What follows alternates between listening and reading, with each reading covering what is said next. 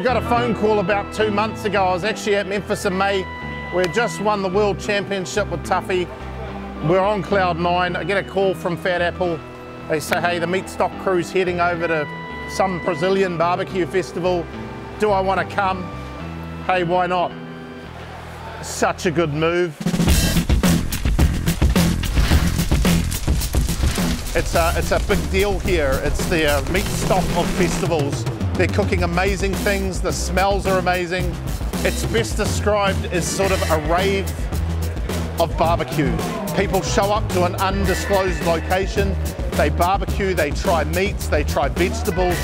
It's the most amazing thing I've ever seen, and I've seen a lot.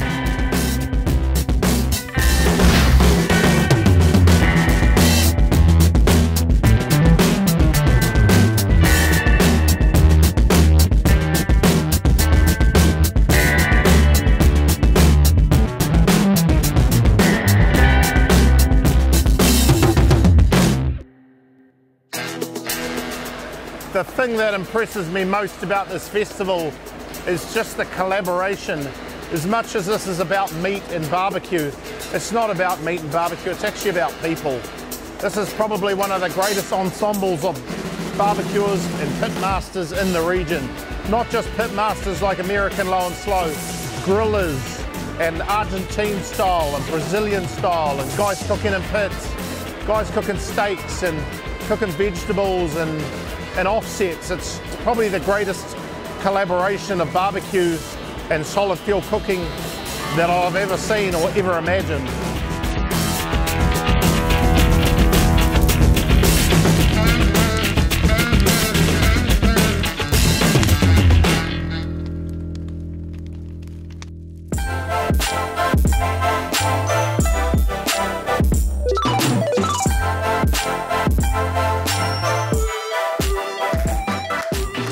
I'm Rogério Debete from Brazil. I'm a butcher. I'm a fourth generation of butcher and a partner of Churrascada with Botino and Felipe. And when we create Churrascada, we create just to have fun. With good meat, well prepared, good beer, good drinks, good music, and good people, we are in the heaven. Uh, this is in our DNA from our past and when we connect all these things together, we get crazy. That's the churrascada. Welcome my friends from Meatstock, from Australia, and from around the world. It'd be a big honor to us have you here, guys. Thank you so much.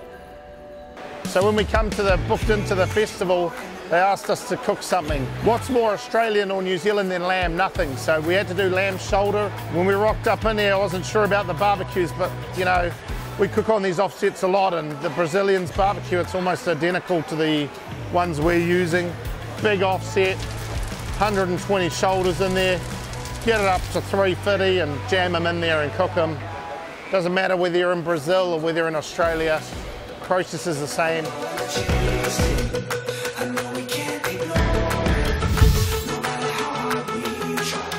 We're getting ready here. The boys, they need a bit of supervision. So why don't we go over there and have a look at what they've been cooking. This man simply needs no introduction, but for those of you at home who don't know who he is, this is Glenn from Black Bear Barbecue. oh no, it's not. It's Hayden. Owner, entrepreneur, yeah. Black Bear Barbecue fame. Yeah. Teaching me how to cook a piece of lamb. Yeah, well, you Kiwis need to know, so we're, we're, I'm here to show. And doesn't it look gorgeous? We've cooked on orange wood and pecan wood. I've never cooked on either of those. We've got 120 shoulders in here. We've got a minty lamb thyme rub on there, a little bit of spice. We're just cooking them until we can just pull them apart like that. We started at 4 a.m. this morning, so that would be done by 11. We've got a beautiful pea zucchini puree. As you can see, our booze proudly showing you. Uh, we think the people here are going to love it. Just keep that off. There's 14 of us here in Sao Paulo today. Aussie, Aussie, Aussie! We've got butchers, we've got barbecuers, we've got hangers on. We've even bought George.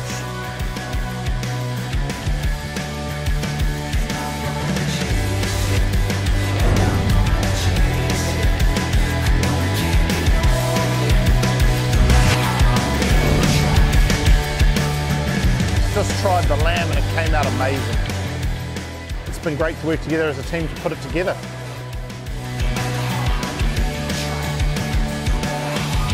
Represent meat, Meatstock crew. I'm Clarice Schwartzman from the south of Brazil and I participate in Churrascada since the beginning. I love this uh, place, my colleagues, this energy. Here we can do miracle, we can do magic and we love it.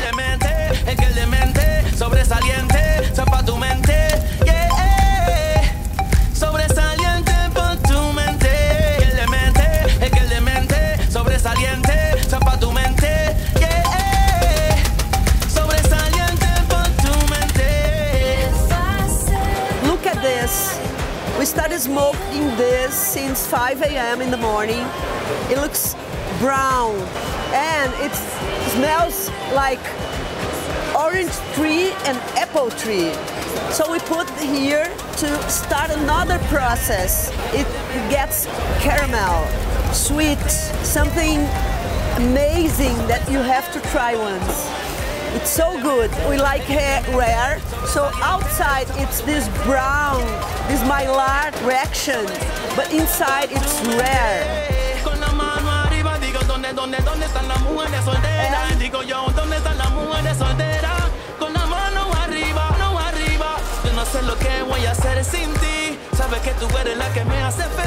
So we put some salt after, and then we introduce this sweet it's from a fruit, Brazilian fruit.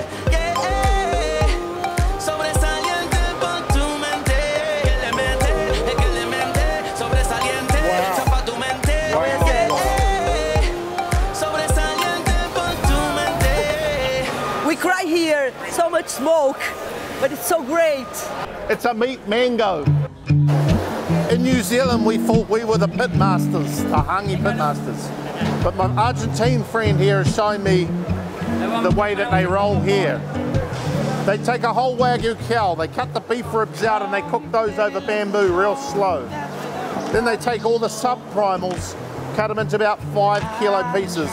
They put them into a bit of a ball, they wrap them in foil and wax paper, then they cover them in mud from the Amazon jungle. Leaves. They put them inside these pits, cover them with coals, and they cook them for about five hours. When it's finished, the encasement is hard like an eggshell. They crack into it, they get in there, and the meat's deliciously tender, cooked in its own juices. That's Wagyu cooked inside Wagyu.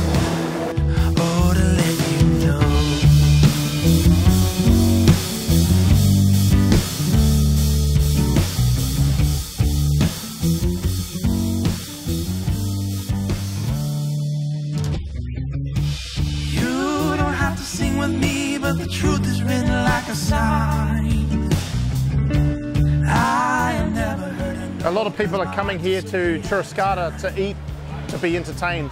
What I've been is I have been entertained and I have eaten. I've eaten well, but I've been inspired.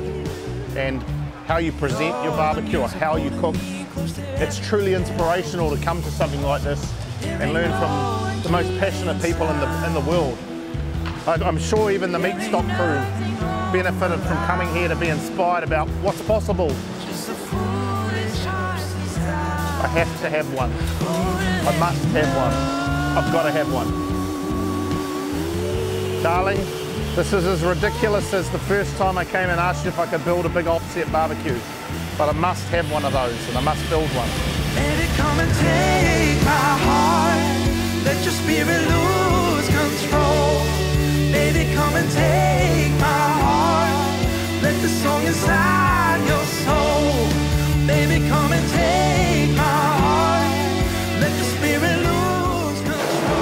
everything the Brazilian do here at Churrascada is over the top. You've seen the Turks do it. This is how the Brazilians take the Turks recipe and they one-up it. Whole chickens, marinated in satay, cooked over live fire. He's cooking it. He's got the most amazing salad I've ever smelt, and I'm a meathead. It's a Brazilian version of a Turkish favourite. Can't wait to get my lips around this one.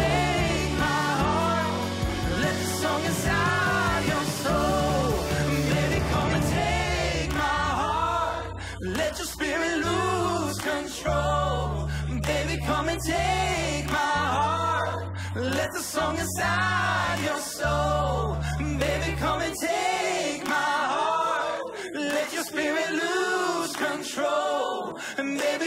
Take my heart. Let the song inside your soul. If you're going to throw the biggest meat festival, meat party, the coolest meat party in the world, you have to bring the Japanese along for the ride. Check out the marbling on this steak that they've got. Renowned for their steak quality, these gentlemen have come in with their A5 beef. Now, beef is graded in terms of marble score. It goes from a 1 all the way up to a 12. A5 starts at an 8. It's highly marbled, it looks like a spider web in there. And these gentlemen here today are preparing A5, which is the equivalent of a marble score of 10, 10 plus. They're gonna cut it like the Japanese do into just the smallest portion. It's very rich. And then you just take the smallest amount and it'll blow your mind how good it is. I've only ever had it a couple of times. Occasionally we get to cook an A5 brisket. I can't wait to try what these gentlemen are preparing.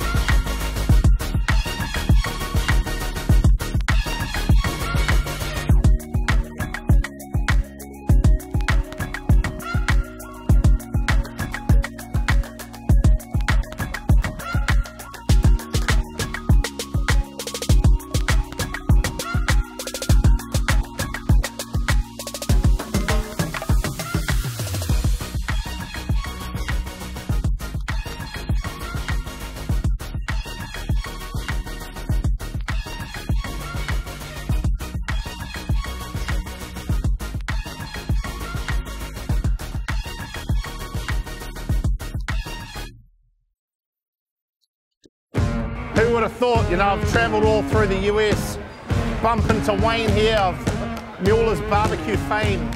He's doing uh, beef short rib. How are you enjoying the festival? This is an amazing festival, man. I've never been to anything like it. This is this is what you dream about when it comes to festivals.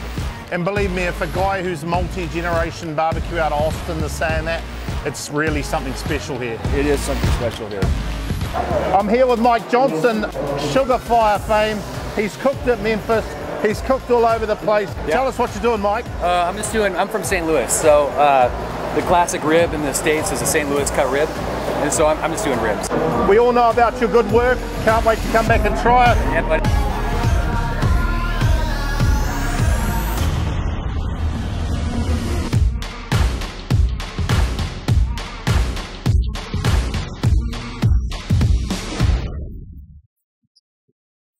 Is this not crazy or not? We've got a, a dome of, of swine apple, we've got pork loins cooking, we've got pineapples. The pork chops have been number two salted for about five days in a dry salt brine. Uh, they've got some sage on there. I wish you could smell it. It smells amazing. They're using all lump charcoal. It's actually quite hot.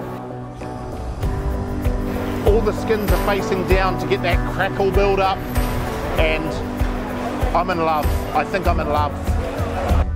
Yeah, we've got Duroc ham that's been cured for about five to seven days. They've slow smoking it over apple wood here.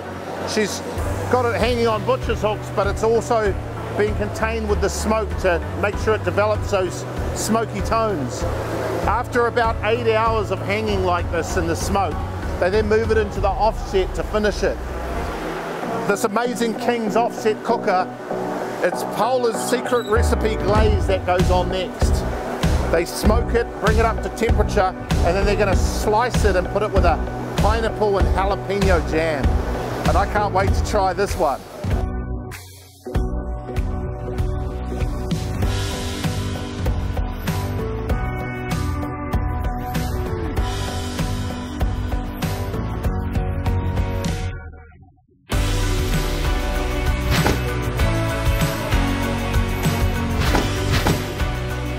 Barbecue actually, it transcends language. as soon as you come to places like this, you're welcomed by the people. Because when they see you as a barbecue and you see them as a barbecue, language doesn't become, it's not important. What's important is the love of barbecue, the love of the process, the love of the product, the love of the end result. The creativity here is actually just really inspiring and mind blowing. I think everybody comes here and thinks, wow, this is amazing. It's really the ultimate place to take barbecue Instagram photos. What I love about Churrascada here is it's not about the fancy appliance. It's actually a really simple thing.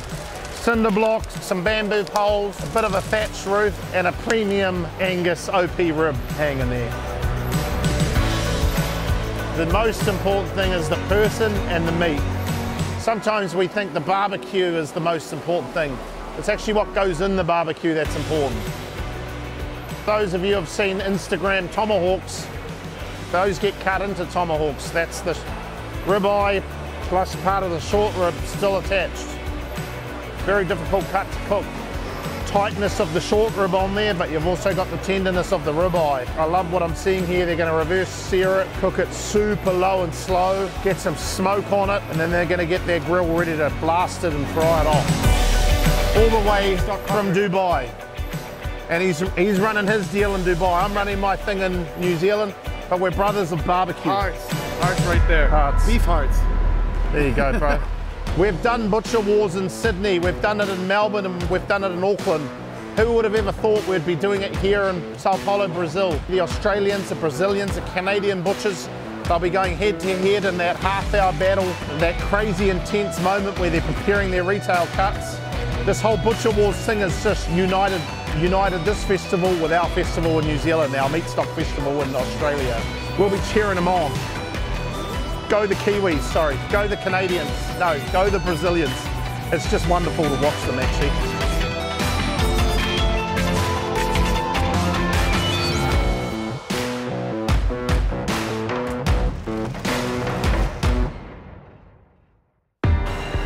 Churrascada, I can't, I don't really understand the concept before I came here. I tried to understand it on Facebook, Instagram. Really, it's, it's just, it's a meat wonderland. You know, it's, it's about these products, these, you know, these are local purveyors of, in this case, sausage. It's about showcasing what they, they love and they're passionate about. Whether it's a sausage or a lamb or a chicken. Churrascada is the opportunity to share whatever your deal is in barbecue with the, with the world.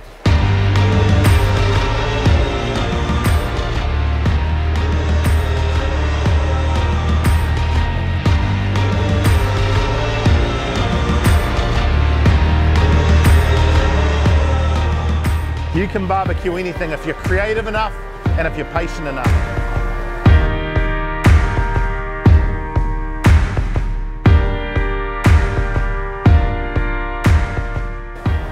I've tasted some of the most amazing things here. I really thought I had barbecue competency. I've cooked with some of the biggest names in Southern style barbecue, but the things my tongue and mouth have experienced here are just the flavors and the, the textures that I've enjoyed have just been mind blowing and it's opened me up to a whole new world of possibilities.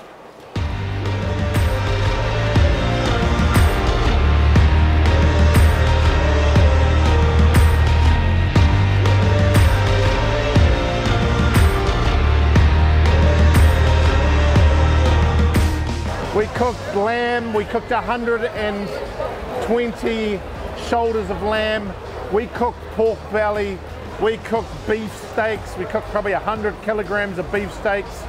It's uh, about uh, five o'clock, we're all sold out. The locals loved the lamb, they thought it was amazing. They even liked the pureed pea with mint. We love cooking it and we love being here. We'll see you next year.